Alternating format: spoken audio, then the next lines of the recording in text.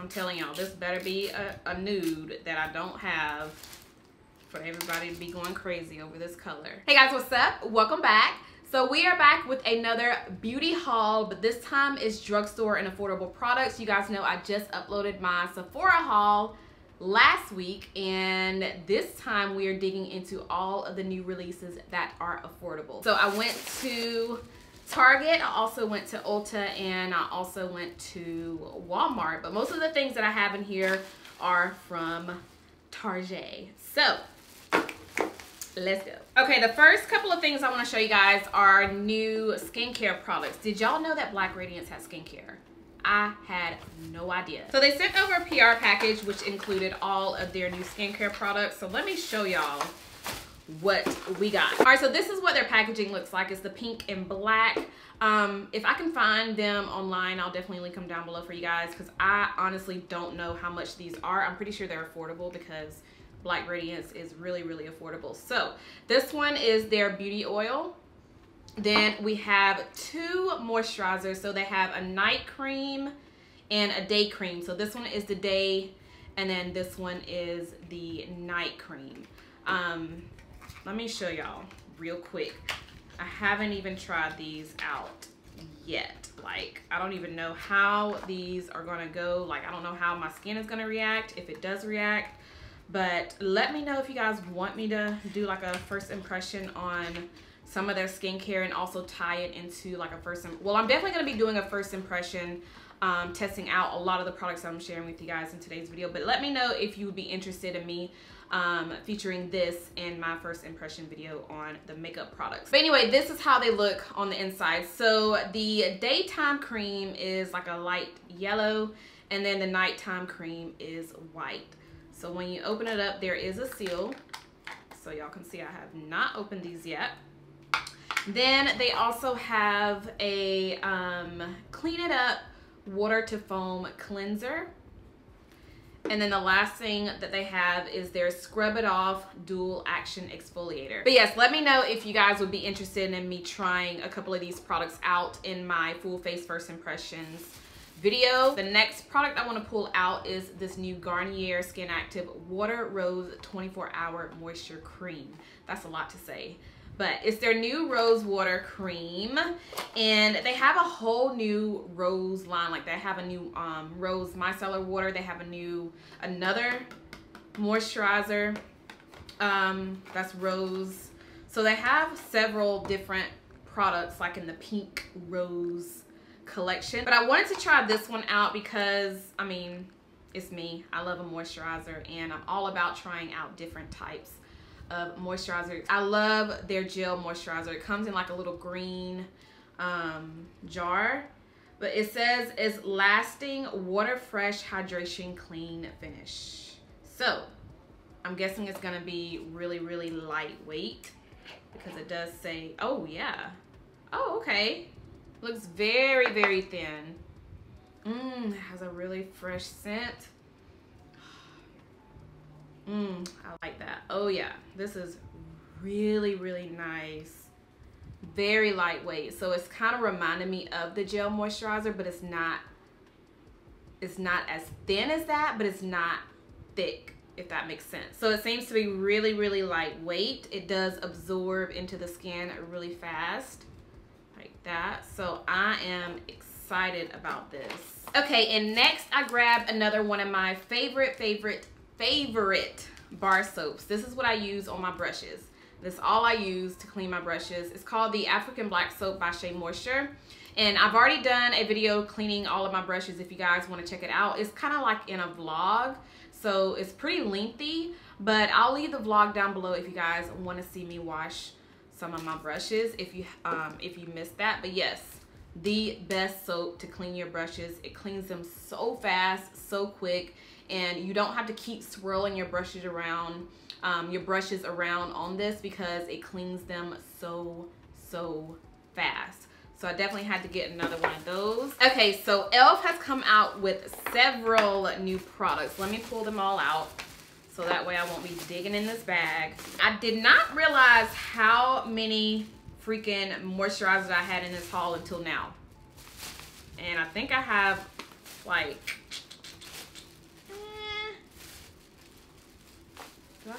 let me see. Yeah, so I have one more to share and the other ones are kind of like primers, but I kind of went crazy with the moisturizers. But the next one is the new e.l.f. moisturizer. It's called their Happy Hydration Nourishing Face Cream. They also have a new primer. They have a new facial oil.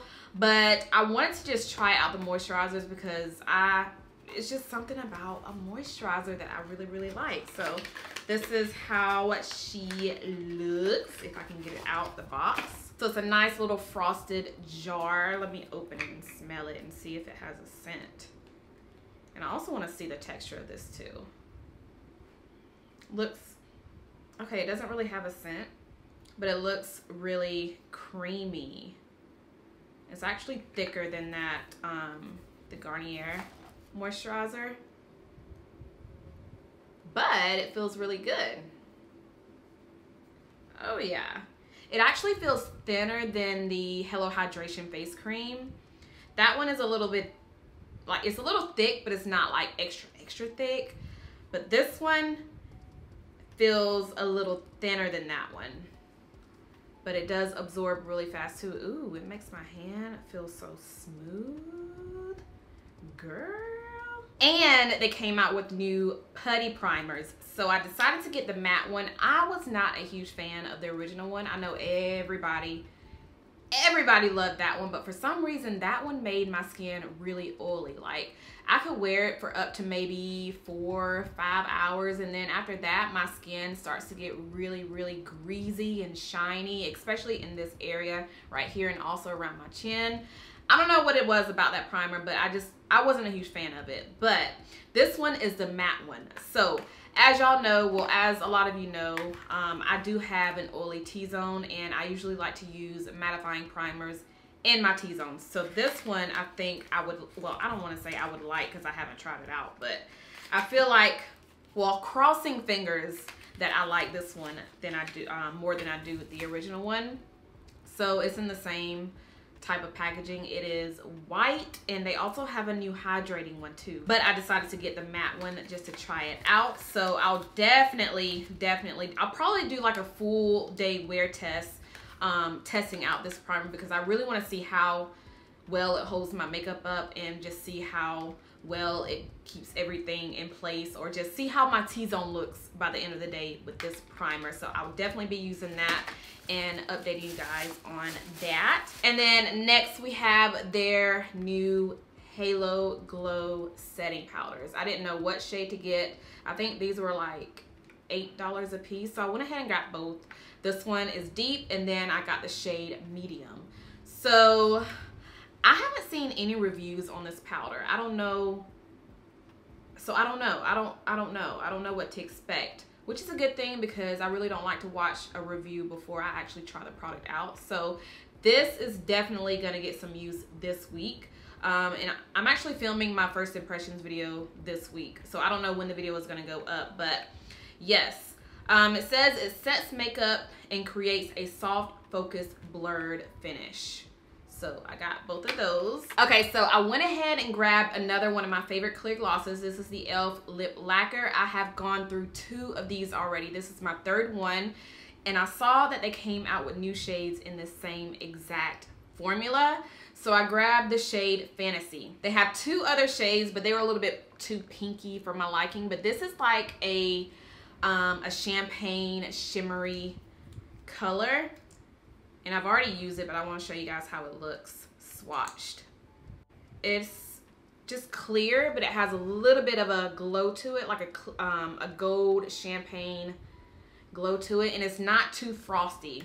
It may look a little frosty in the packaging, but once you apply it, I'm to apply a little bit on my lips.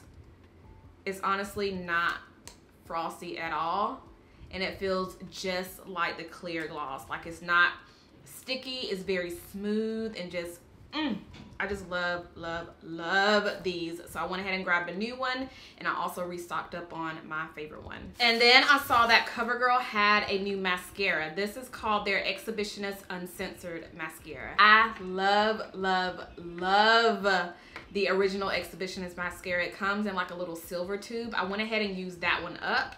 So I'm excited to try this one out. It looks like, just from the looks of it, it looks like the brush, like the little um, wand will be really good for my lashes. Now, I don't know. I'm just looking off, you know, just looking at the picture on here, but I feel like it'll be good. It says up to 24 hour wear. They have a waterproof one and they also have this one. This one is the original one. I got the shade Extreme Black, but I am excited to try this one out. And I saw that Revlon came out with these new highlighters. This one is called their Skin Lights Prismatic Highlighter. Let me open her up and swatch her for ya. Y'all can see that I am prepared today. I got my tweezers. I am prepared. So this one is called Twilight Gleam, and this is the second one. Um, well, the second one. They have three in total. I really wanted to get the third one because that one is more gold. But looking at this, it actually looks like it'll be something that won't look too, ooh, yes. I could definitely see myself wearing this so it doesn't look too white or too ashy. And it feels silky like some drugstore highlighters they kind of feel a little chunky but this one feels so so so silky. And I feel like this will kind of give me that wet look on my face so I'm excited for this Maybelline has a new eyeshadow palette called the Nudes of New York this one is probably the only nude palette that really stood out to me over all the other ones that they have. Like the other ones they have, they look really light and ashy and just something I know I wouldn't wear. But this one, I could definitely see myself getting a lot of use out of it because it's a lot of neutral shades. Like it's not all light ashy colors. Like these colors, I can I can work with these. Let me show y'all. Let me get it open. This is how she looks on the inside. This looks so good. So here's a close-up. It may look a little washed out because of my lights, but let's swatch. Let's do some swatches. Okay, this color right here, these two shades. This, ugh, yeah. Just looking at this palette, I feel like maybe one, two, three, four, five shades out of all the shades in here I feel like I probably won't even dip into because they're so light. But all these other ones, I'm going to go ahead and swatch them for y'all. Wow, that is pigmented. I feel like Maybelline is a hit and miss because not all of their eyeshadow palettes are good. But so far, these might be good. All right, there's, oh wow, that is pigmented. All right, that matte look, oh, ooh, girl, wait a minute. Okay, those are four shades swatched right there. Right there.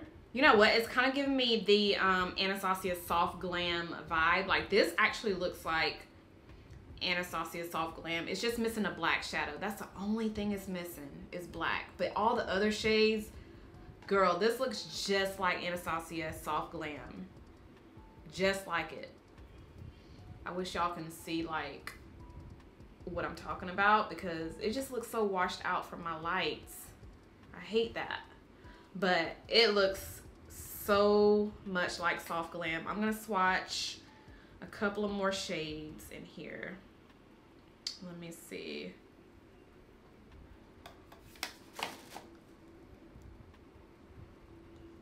This shade right there. Oh, wow. That's pretty. These are pretty. These are some pretty colors. I mean, they look like Soft Glam by ABH. It's just a drugstore version of the palette, which I know a lot of us have a lot of neutral palettes um, that could be an affordable dupe to Soft Glam. But this one I definitely wanted to try because um, it was the only like neutral palette by Maybelline that really stood out to me versus all the other ones. So I'm excited to give this a try. So Makeup Obsessions has two new eyeshadow palettes in Target. You guys know, um, well, if you remember, I did a tutorial using one of their palettes, but they brought out two more. This one is their Ratty Dusk. And this one really, really caught my attention. Like the color story of this is so pretty and different. Even though the shades, and like the shades themselves are not different, it's just the color story. Um, so you have the greens, the teals, the bronze, just a lot of earthy tones in this palette. And you also have some plums, which are my favorite shades when it comes down to eyeshadows. I personally love the formula of this brand. Like even though I feel like I have some of these shades already, it's just the formula of these shadows that I really, really like and they're so affordable. I also like how these palettes, um, how they made this palette where you can easily take out the single shadows. So if you have your own palette and you want to put more single shadows in that palette, you can easily take these out. So yes, I definitely look forward to trying this one out. I can look at this and like see several different looks that I can create. Sometimes I'll look at a palette and I'll have to really just sit there and think about, okay, what am I to create? But looking at this, I see several different looks, like several, you guys. So I am excited for this. Again, this is the Ratty Dusk. Um, and the brand is Makeup Obsessions and you can get this from Target. Okay, let's talk about Milani. If you don't know by now, Milani has really, really, really been throwing out a lot of new products this year. So they have their new Rose Water Prep and Refresh Hydrating Mist. So it's like a, just like a refresher, refreshing mist. So I got that. We also have a new primer by Milani. This is their new Rose. This is also in the Rose collection, but it's their new Prep and Hydrate Lightweight Base Primer. So on the back it says it hydrates, it brightens, and it plumps the skin. It also has hyaluronic acid, um, and I can't read the other ingredients that it has. It's a long word. I can't pronounce it. But I'm excited to try this, y'all. I am excited to try that. Another one from Milani is their new Green Goddess Cannabis Seed Oil. I don't know how I'm gonna like this. I honestly don't know, but I wanted to give it a try. So that is what we're gonna do. We're gonna try this out and just see if it's any good. And since the weather is still pretty, like it's still pretty cool outside, I like to use a lot of hydrating products on my skin. So can I open this? There we go. All right, so this is how the bottle looks and it is glass and it just comes in this drop, little dropper. Has a really, well, is that my other stuff that I'm smelling? I don't know. I have so much on my hands, but, um, but yeah, this is how it looks. So on the back, it does say, um, with, as far as the ingredients, it has um, vitamin E, it has rosemary and sunflower extract. So cannot wait to give this a try. Milani also has a lot of eyeshadow palettes, but I did not pick up not one of their eyeshadow palettes because y'all know I don't need anymore but I did grab their foundations. These are the ones that I grabbed from Ulta, which I showed you guys in my recent vlog. So I just wanted to show it on this video if you guys did not watch that vlog. But yeah, these are their Screen Queen Natural Finish Foundations. And I grabbed two shades because I did not know which shade would work best. I did swatch them in Ulta. One actually looked um, a little orange and then the other one looked a little too neutral and there was not a shade in between these. And to be honest with you guys, I can never tell if a foundation is really and truly gonna work for me just by the swatches on my hand. So I did swatch these on my hand. So I don't know. Um, one of these may be my perfect, perfect match. So we will be testing these out in a video pretty soon. But, oh, by the way, the shades. I got the shade 480 Spiced Toffee and 500 natural toffee. So spice toffee is the one that looked a little um, orange and then natural toffee actually looked a little too neutral, but we will definitely be trying these out. I'm gonna film this video tomorrow. Let's see, the video that's going, this video is going up on Wednesday. Um, I'm gonna try my best to have the video of me testing all of the affordable drugstore products up on Friday fingers crossed that I can do that. Um, if not Friday, it's going to be maybe Sunday, but pretty, pretty soon. So stay on the lookout for that. So I also grabbed two more glosses. I don't know why everybody is talking about this gloss. It's called Cinnamon Roll. It's by NYX. It's the butter gloss and this is supposedly the shade that's always still, um, well that got discontinued. But I don't know, people were just going crazy over this gloss on Twitter and I was like, okay, this better be a shade that I don't have because the way people were going crazy over it and they just brought it back after it being discontinued. So, so let's see how this looks. I'm telling y'all, this better be a, a nude that I don't have for everybody to be going crazy over this color. It better be a nude that I don't have. It looks pretty dark. It looks kind of like a plum. Oh yeah, it's pretty, but I have this color in something because it's, it's that plum berry nude. I thought it was to be one of those brown beige looking nudes, but it's like a mauve. And I have a ton of shades like this. Lately, I've been into the nudes that are more beige, like the brown tan looking nudes, not so much the mauves. I used to wear mauves all the time. Like that is pretty much all the shades that I wore back in the day but now I'm really leaning into more of those brown beigey looking nudes that's not like pinky or peachy looking but it's it's cute it's cute and then I also got another one this is one of their new shades well it said new on the display but it's called Bit of Honey and this is another NYX Butter Gloss I didn't know that they were coming out with new shades in this gloss because this has been out forever like this is one of my first drugstore glosses that I've ever tried. And the shade that I used, um, that I bought, like my very first shade was called Parfait. It's like a, a really pink magenta color. But this is Bit of Honey. Yeah, Bit of Honey. And this just looks like a peachy nude. It's pretty. It's actually really pretty.